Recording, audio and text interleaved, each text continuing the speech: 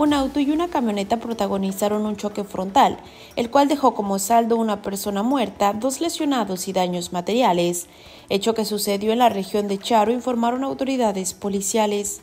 El trágico percance se registró la mañana del martes sobre la carretera Morelia-Mil Cumbres, entre la colonia Unión Progreso e Irapeo. Automovilistas vieron los automotores siniestrados y avisaron al número de emergencias 911. Unos policías acudieron al sitio en mención y descubrieron que derivado del incidente falleció un masculino. Además, en el sitio había dos heridos, quienes fueron auxiliados por paramédicos. Los oficiales delimitaron el área y pidieron la intervención de la Fiscalía General del Estado, cuyos elementos de la Unidad de Atención Inmediata se encargaron de las investigaciones respectivas y trasladaron el cadáver a la morgue para la práctica de la necropsia de rigor. La identidad del finado es desconocida informó para Red 113 Luz Más Cervantes.